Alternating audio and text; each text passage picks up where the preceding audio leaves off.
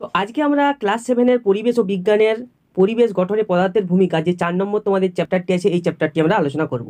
এবং আগের যে দুটো চ্যাপ্টার ছিল, সেই দুটো চ্যাপ্টারের উপরে আমরা ভিডিও অলরেডি ছেড়ে দিয়েছি। চাইলে ডিসক্রিপশন বক্সের লিঙ্ক থাকবে, অথবা আই লিঙ্ক দিয়ে দেবো, দেখতে পারো। আজকে আমরা এখানে আলোচনা করব তোমাদের এমসিকিউ কোশ্চেন এক নম্বরের কোশ্চেন ঠিক ভুল, এবং দু নম্বর এবং তিন নম্বরের কোশ্চেন এখানে আলোচনা করব, এবং উত্তর সহ এখানে কোশ্চেন আলোচনা করব। তো সবার প্রথমে এখানে একের দাগে কী আছে দেখো? সঠিক উত্তরটি নির্বাচন করো।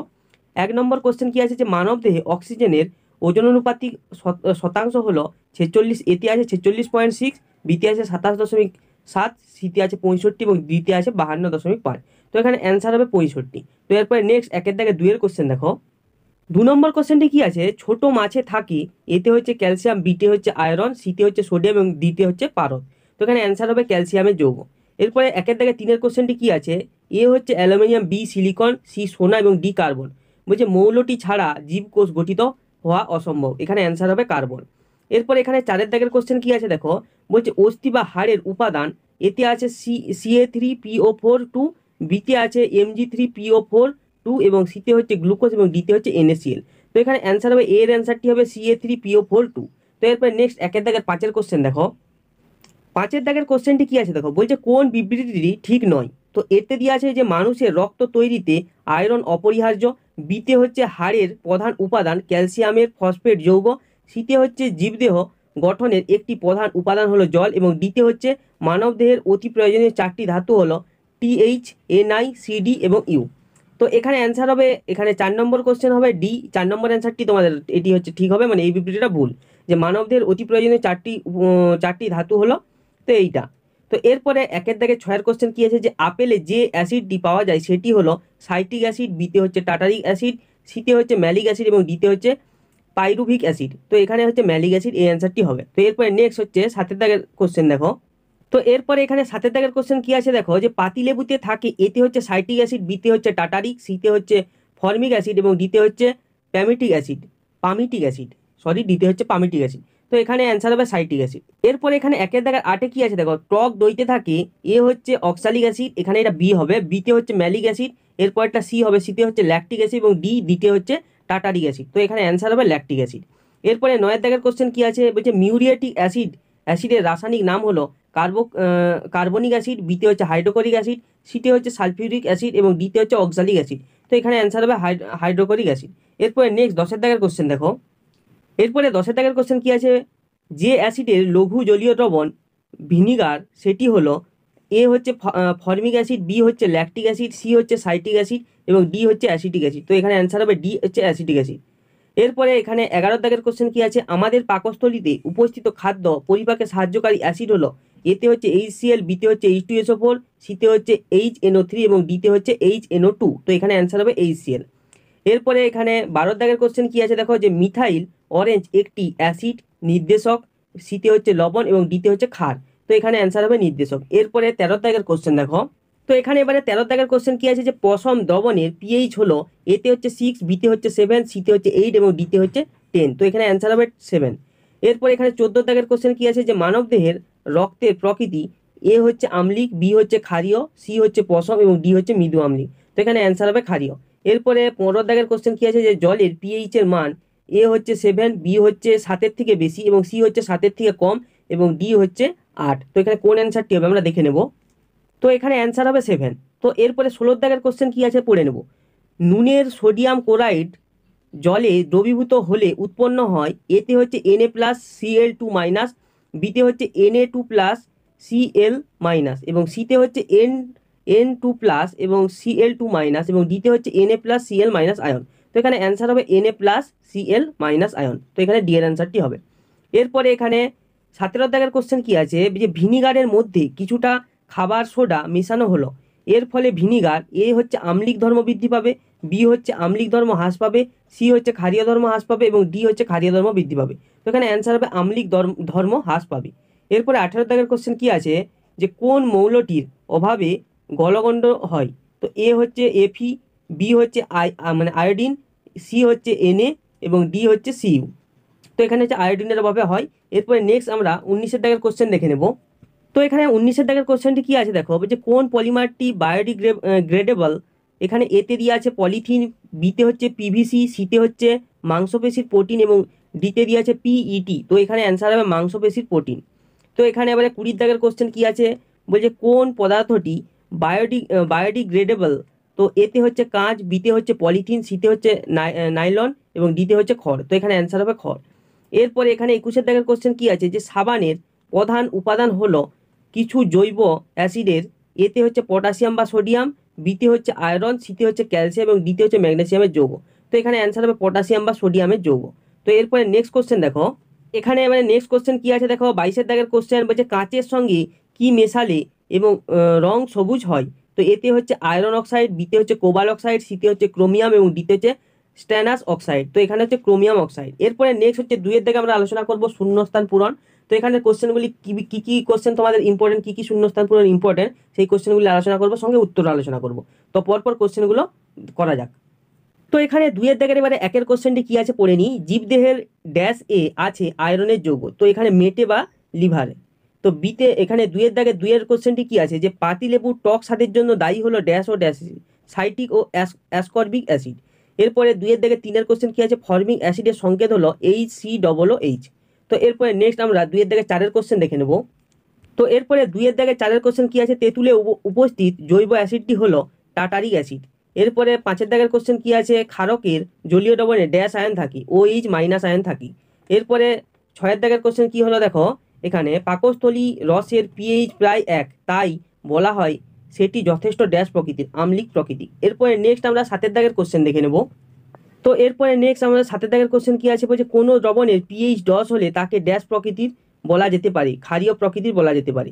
এরপরে আটের দাগের কোশ্চেন কি আছে? যে মানুষের প্রতিদিনের খাবারের ড্যাশ শতাংশ আমলিক ও ড্যাশ শতাংশ ক্ষারীয় হওয়ার প্রয়োজন।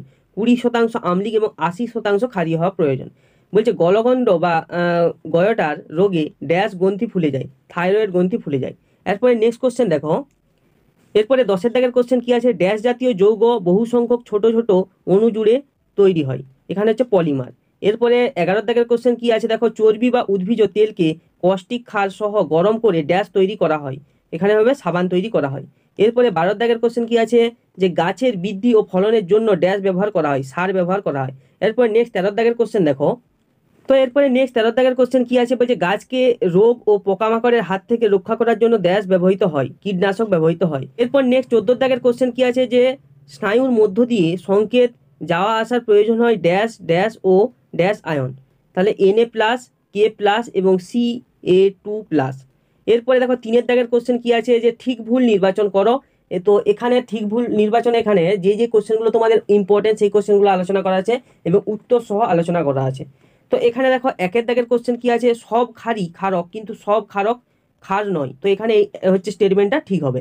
এরপরে নেক্সট তিনের দাগে দুইয়ের কোশ্চেনটি দেখব। এরপরে তিনের দাগে দুইয়ের কোশ্চেন কি আছে? পাতিলেবু রসের পিএইচ এর মান সেভেনের বেশি। তো এই অ্যান্সার হবে ভুল। মানে এই স্টেটমেন্টটা ভুল। তো এরপরে তিন নম্বর কোশ্চেন কি আছে? বলছে অ্যাসকার অ্যাসকর্বিক অ্যাসিড থাকার জন্য টমেটো সার টক। তো এখানে স্টেটমেন্টটি ভুল। লেবুর শরবত আমলিক প্রাকৃতিক। স্টেটমেন্টটি ঠিক। তো এরপরে নেক্সট কোশ্চেন দেখো। তো এরপরে পাঁচের দাগের কোশ্চেনটি কি আছে? যে মানসিক চাপ বাড়লে দেহের অ্যাসিডের পরিমাণ কমে। তো এখানে স্টেটমেন্টটি ভুল। এরপরে ছয়ের দাগের কোশ্চেন কি আছে ডিটারজেন্ট ডিটারজেন্টের চেয়ে সাবান দিয়ে কাপড় কাপড় জামা কাপড় বেশি ভালো পরিষ্কার হয়। তো এখানে স্টেটমেন্টটি ভুল। তো এরপরে কি আছে? ডিটারজেন্ট সব সব রকম জলেই ফেনা সৃষ্টি করে। স্টেটমেন্টটি ঠিক। এরপরে আমরা আটের দাগের কোশ্চেনটি দেখে নেব। তো এরপরে এখানে আটের দাগের কোশ্চেনটি কি আছে? বলছে, অনেকগুলো ইথিলিন অণু জুড়ে পলিথিন অণু তৈরি হয়। তো এখানে স্টেটমেন্টটি ঠিক। তো এরপরে এখানে নয়ের দাগের কোশ্চেন কি আছে? যে আমাদের শরীরে আয়োডিন বেশি হলে গলগণ্ড রোগ দেখা রোগ হয়। তো এখানে স্টেটমেন্টটি ভুল। তাহলে এই হলো আমার তিনের দাগের কোশ্চেন এরপরে নেক্সট আমরা চারের দাগের কোশ্চেন দু একটি শব্দে উত্তর দাও। এগুলি তোমাদের এক নাম্বারের কোশ্চেন এগুলি এখানে যে যে কোশ্চেনগুলি দেওয়া আছে, সেগুলি খুবই ইম্পর্টেন্ট কোশ্চেন তো আশা করব ভিডিওটা স্কিপ না করে দেখো। তো এখানে দেখো, চারের দাগের একের কোশ্চেন কি আছে? শামুক, ঝিনুক। এর দেহের বাইরে শক্ত হলো কিসের তৈরি? তো এখানে অ্যান্সার হবে ক্যালসিয়াম কার্বোনেটের তৈরি। তো এরপরে নেক্সট চারের দাগে দুইয়ের কোশ্চেন দেখো। তো এখানে চারের দাগে দুইয়ের কোশ্চেন কি আছে? বলছে একটি জৈব অ্যাসিডের নাম ও সংকেত লেখো। তো এখানে হবে অ্যাসিটিক অ্যাসিড এবং সংকেত হচ্ছে এখানে দেওয়া আছে C H three C double H তো এর এরপরে তিনের কোশ্চেন কি আছে? দেখো, লঘু ক্ষারীয় দ্রবণে ফেনল প্যাথলিনের রং কি? তো এখানে হবে গোলাপি। এরপরে চারের দাগের কোশ্চেন কি আছে? দুটি কৃত্রিম পলিমারের নাম লেখো। একটা হচ্ছে পলিথিন একটা হচ্ছে নাইলন এরপরে এখানে পাঁচের দাগের কোশ্চেনটি কি আছে দেখো? তো এখানে পাঁচের দাগের কোশ্চেন কি আছে দেখো? পিভিসি এর পুরো নাম কি? তো এখানে আমরা অ্যান্সারটি দেখে নেব। তো এখানে অ্যান্সার হবে যে পলিভিনাইল ক্লোরাইড তো এরপরে এখানে নেক্সট কোশ্চেন দেখো, বলছে একটি জৈব সারের নাম লেখো, এটা হবে গোবর সার। এবং এখানে সাতের দাগের কোশ্চেন দেখো, দুটি কীটনা কীটনাশকের নাম লেখো, একটা হচ্ছে ডিডিটি একটা হচ্ছে এনড্রিন। এরপরে নেক্সট আটের দাগের কোশ্চেন কি আছে? যে আয়োডিনের যোগান দিতে নুন, নুনে কি মেশানো হয়? তো এর এখানে অ্যান্সার হবে পটাশিয়াম আয়োডাইড তো এখানে হচ্ছে সংকেতটি আছে, দেখো কে আই ও থ্রি এরপরে নেক্সট কোশ্চেন আমরা দেখে নেব। এরপরে নয়ের দাগের কোশ্চেনটি কি আছে? স্বাভাবিক দেহের রক্তের পিএইচ মানের সীমান্ত মান দুটি কী কী? তো এখানে অ্যান্সার দেখো সেভেন পয়েন্ট থ্রি ফাইভ থেকে সেভেন পয়েন্ট ফোর ফাইভ তো এরপর এখানে দশের দাগের কোশ্চেন কী দিয়ে আছে, দেখো? কাঁচে কোবাল্ট অক্সাইড মেশালে কি? এর রং কি হবে? তো এখানে হবে নীল। এরপরে পাঁচের দাগের কোশ্চেন আলোচনা করব। দেখো, পাঁচের দাগের কোশ্চেনে দুই এবং তিন নম্বরের কোশ্চেন আছে। তো এখানে ইম্পর্টেন্ট যে কোশ্চেনগুলি হয়, সেই কোশ্চেনগুলো নিয়ে এখানে আলোচনা করা আছে উত্তরের সঙ্গে। তো এখানে পরপর আমরা কোশ্চেনগুলি দেখে নেব। তো এখানে একের দাগের কোশ্চেনটি কি আছে? দেখো, মানব দেহে সোডিয়াম ক্যালসিয়াম ও লোহার ভূমিকা কি? তো এখানে পরপর করে পয়েন্ট করে করে দিয়ে আছে অ্যান্সারগুলি তো এক নম্বরে, মানব দেহে সোডিয়ামের ভূমিকা, তো একে কি আছে? স্নায়ু ও পেশি সংকোচন, প্রসারণ ও উদ্দীপনা নিয়ন্ত্রণ করে। এবং দু নম্বরে কি দিয়ে আছে? যে এটি দেহে দেহে অ্যাসিড ক্ষারের ভারসাম্য ও জল সাম্য বজায় রাখে। এবং এরপরে নেক্সট আছে মানব দেহে লোহার ভূমিকা। দেখো, এক নম্বর পয়েন্ট দিয়ে আছে, গর্ভবতী মহিলাদের ক্ষেত্রে লোহা ভ্রূণের বৃদ্ধিতে বিশেষ ভূমিকা পালন করে। এরপরে নেক্সট যে পয়েন্ট আছে, সেটা দেখো। তো এরপরে এখানে দু নম্বর পয়েন্ট কী দিয়েছে, বলছে কোনো কোনো ক্ষেত্রে উৎসেচক গঠনে অংশ নেই। এরপরে মানবদেহে ক্যালসিয়ামের ভূমিকা কি? হাড় হাড় ও দাঁত গঠন, হৃৎপিণ্ড ও স্নায়ুর উত্তেজনা এবং পেশি সংকোচন নিয়ন্ত্রণ করে। তো এরপরে দু নম্বর কোশ্চেন কী দিয়ে আছে, দেখো, সব খারি ক্ষারক কিন্তু সব ক্ষারক ক্ষার নয়। এটি তোমাদের এবারের খুব ইম্পর্ট্যান্ট কোশ্চেন তো এখানে অ্যান্সারটি কী হবে দেখো? তো এখানে অ্যান্সারটি দেখো যে ক্ষারক সাধারণত এক প্রকার ধাতব অক্সাইড বা হাইড্রক্সাইড যা অ্যাসিডের সঙ্গে বিক্রিয়ায় লবণ ও জল দেয়। বলছে এই সব ক্ষারকের মধ্যে যারা জল, জলে দ্রাব্য এবং জলীয় দ্রবণে অ্যানায়ন অ্যানায়ন হিসাবে শুধু, শুধুমাত্র ওইচ আয়ন দেয়, তারা হলো ক্ষার জলে অদ্রাব্য ক্ষারক ক্ষার হতে পারে না। তাই বলা যায় ক্ষারকের কিছু কিছু অংশ ক্ষার সবগুলি নয়। তো এরপরে দেখো, তিন নম্বর কোশ্চেন কী দিয়ে আছে? বলছে, আমাদের শরীরের পাকস্থলিতে কি অ্যাসিড আছে? মানবদেহের ভূমিকা কি? তো আমাদের শরীরে পাকস্থলিতে হাইড্রোক্লোরিক অ্যাসিড আছে। এর সংকেত হচ্ছে এইচসিএল অপর নাম মিউরিয়েটিক অ্যাসিড এর মূলত কাজ কি? দেখো, হজম করতে সাহায্য করে এবং খাদ্যকে জীবাণুমুক্ত করে। তো এরপরে নেক্সট আমরা চার নম্বর কোশ্চেনটি দেখে নেব। তো এরপরে চার নম্বর কোশ্চেন কী দিয়েছে যে নিম্নলিখিত বিক্রিয়াগুলিতে কোন ধরনের নির্দেশক ব্যবহার করা উচিত? এক নম্বরে দিয়েছে তীব্র অ্যাসিড, তীব্র ক্ষারের বিক্রিয়া, দু নম্বরে তীব্র অ্যাসিড ও মৃদু ক্ষারের বিক্রিয়া এবং তিন নম্বর মৃদু অ্যাসিড ও তীব্র ক্ষারের বিক্রিয়া। তো এখানে অ্যান্সারটি দেখো, এখানে ছক করে করে দিয়ে আছে। প্রথমে হচ্ছে এখানে প্রশমন ক্রিয়া, তারপরে অ্যাসিড, তারপরে ক্ষার এবং ব্যবহৃত নির্দেশক। তো সবার প্রথম যেটা বলেছে যে তীব্র অ্যাসিড ও তীব্র ক্ষার। তো এখানে অ্যাসিড হিসাবে এইচ টু এসও ফোর এবং ক্ষার হিসাবে এনএওএইচ এবং যে কোনো নির্দেশক দিলেই হবে। এরপরে হচ্ছে তীব্র অ্যাসিড ও মৃদু ক্ষার, এখানে হচ্ছে অ্যাসিড হচ্ছে এইচ টু এসও ফোর এবং ক্ষার হচ্ছে এনএইচ ফোর ওএইচ আর এখানে হচ্ছে নির্দেশক মিথাইল অরেঞ্জ। এরপরে চান এখানে তিন নম্বর যেটা দিয়ে আছে যে মৃদু অ্যাসিড ও তীব্র ক্ষার, এখানে হচ্ছে অ্যাসিড হিসাবে CH three C double H এবং ক্ষার হচ্ছে এখানে দিয়ে আছে এনএওইচ এবং এখানে ব্যবহৃত নির্দেশক দিয়ে আছে যে ফেনল প্যাথলিন। তো এই হলো তো আমার হচ্ছে চার নম্বর কোশ্চেন এরপরে নেক্সট আমরা পাঁচ নম্বর কোশ্চেন দেখে নেব। তো এরপর পাঁচ নম্বর কোশ্চেন কী দিয়ে আছে যে, জলে দ্রবীভূত হলে হাইড্রোক্লোরিক অ্যাসিড ও সোডিয়াম হাইড্রোক্সাইড থেকে কী কী আয়ন উৎপন্ন হয়? তো দেখো জলের মধ্যে হাইড্রোক্লোরিক অ্যাসিড এইচসিএল যোগ করলে তার জলীয় দ্রবণে আয়নিত হয়ে হাইড্রোজেন আয়ন এইচ প্লাস এবং কোরাইড আয়ন সিএল মাইনাস উৎপন্ন করে। তো এখানে এই সিএল থেকে কীভাবে হচ্ছে দেখা যাচ্ছে, এখানে এইচ প্লাস আর সিএল মাইনাস তো এরপরে জলের মধ্যে সোডিয়াম ক্লোরাইড যোগ করলে সোডিয়াম হাইড্রোক্সাইড হাইড্রোক্সাইড জলে দ্রবীভূত হয় এবং আয়নিত হয়ে N A plus OH minus ion উৎপন্ন হয়। এরপরে আমরা নেক্সট ছয়ের দাগের কোশ্চেনটি দেখে নেব। তো ছয়ের দাগের কোশ্চেন কি আছে? দেখো, খাদ্য লবণের প্রধান উপাদানটির রাসায়নিক নাম ও সংকেত, এর ধর্ম ও ব্যবহার সম্পর্কে লেখো। তো খাদ্য লবণের রাসায়নিক নাম হলো সোডিয়াম ক্লোরাইড, এর সংকেত হচ্ছে এনএসিএল আচ্ছা খাদ্য লবণের সবার প্রথম ধর্মগুলো কী কী আছে দেখব? যে এতে হচ্ছে এটি গন্ধহীন, বর্ণহীন, কঠিন পদার্থ ও হচ্ছে অনুদ্দায়ী অজৈব যৌগ। এবং বিতে দেওয়া আছে এটি কেলাসাকার কঠিন পদার্থ, এর কেলাস গঠন। ছয় তলযুক্ত ঘনকের মতো এবং শীতে হচ্ছে বিশুদ্ধ অবস্থায় এটি জলাকর্ষী ও উদ্গ্রাহী নয়। তো এরপরে আমরা খাদ্য লবণের ব্যবহারগুলি দেখে নেব। তো খাদ্য লবণের ব্যবহার কী কী আছে? এতে হচ্ছে খাদ্যের একটি প্রয়োজনীয় উপাদান হিসেবে ব্যবহৃত হয়। বিতে হচ্ছে মাছ, মাংস ও অন্যান্য খাদ্য সংরক্ষণে ব্যবহৃত হয়। হিমমিশ্র তৈরি করতে কাজে লাগে এবং শীতে হচ্ছে সাবান শিল্প, রঞ্জক শিল্প এবং চীনামাটির সাবান বাসন, পালিশ করতে ব্যবহৃত হয়। এরপরে এখানে সাত নম্বর কোশ্চেন কী দিয়ে আছে? দেখো, যে পলিমার কাকে বলে? থার্মোপ্লাস্টিক ও থার্মোসেটিং প্লাস্টিক বলতে কি বোঝায়? এটি বলছে একটি উদাহরণ দাও। তো এটির অ্যান্সারটি কি হবে দেখো? তো এখানে অ্যান্সারে দেখো, পলিমারের প্রথমে এখানে সংজ্ঞাটা দিয়ে আছে, বলছে একই রকম বা বিভিন্ন রকম অসংখ্য ক্ষুদ্র ক্ষুদ্র অণু রাসায়নিকভাবে পরস্পর যুক্ত হয়ে যে দীর্ঘ শৃঙ্খল বিশিষ্ট বৃহতকার অণু গঠন করে তাকে পলিমার বলে। তো এরপরে থার্মোপ্লাস্টিক ও থার্মোসেটিং প্লাস্টিক বলতে কি বোঝায়? এটা সংজ্ঞা দেখে নেব। তো এখানে দেখো থার্মোপ্লাস্টিক কি? বলছে তাপের প্রভাবে যেসব পলিমারের আকৃতি পাল্টানো যায় বাঁকানো যায় বা গলানো যায়, তাদের থার্মোপ্লাস্টিক পলিমার বলে। বলছে এই ধরনের পলিমার তাপ ও তড়িতের কুপরিবাহী এবং জলরোধক।